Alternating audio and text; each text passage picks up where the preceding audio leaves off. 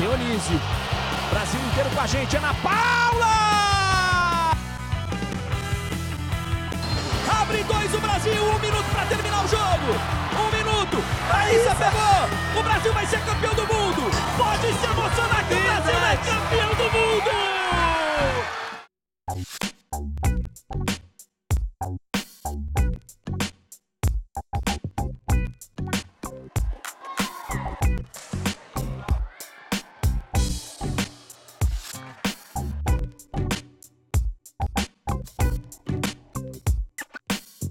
maioria dos atletas que hoje representam a cidade começaram a praticar handball nas escolas.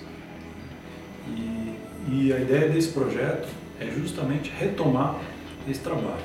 né? O, o levantamento que nós fizemos no ano passado foi que faltam não só professores, como alunos dentro das escolas que conhecem o handball.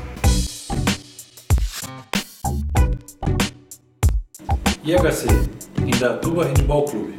O handball é praticado em Indaiatuba há mais de 20 anos. O IHC foi fundado no início de 2007 por atletas e ex-atletas da modalidade. tá?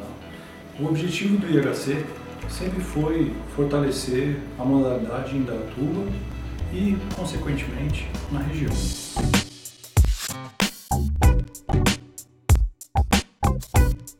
Em 2014, atletas, voluntários e técnicos do IHC realizaram um trabalho dentro de sete escolas públicas.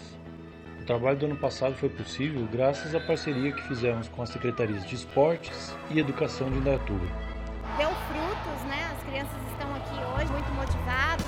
Eu acho que foi uma parceria 100% de sucesso. Os técnicos do IHC deram aulas de handball durante dois meses para crianças das escolas públicas e alunos de um núcleo de educação especial.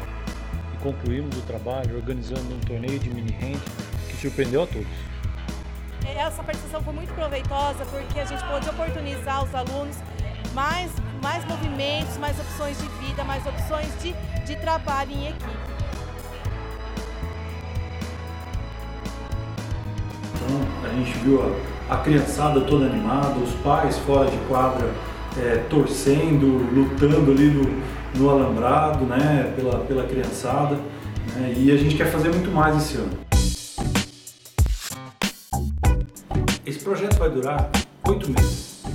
Para desenvolver, nós precisamos basicamente de três coisas: a contratação de profissionais que vão trabalhar dentro das escolas durante esses oito meses, a compra de material que serão doados para as escolas e a realização do torneio, que envolve alimentação dos atletas, transporte dos atletas e a contratação de arbitragem.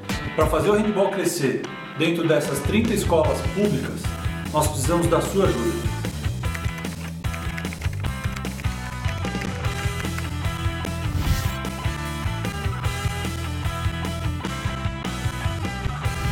E é muito importante, para que o seu dinheiro seja utilizado nesse projeto, nós precisamos alcançar a nossa meta. Então, nos ajude divulgando entre os seus contatos.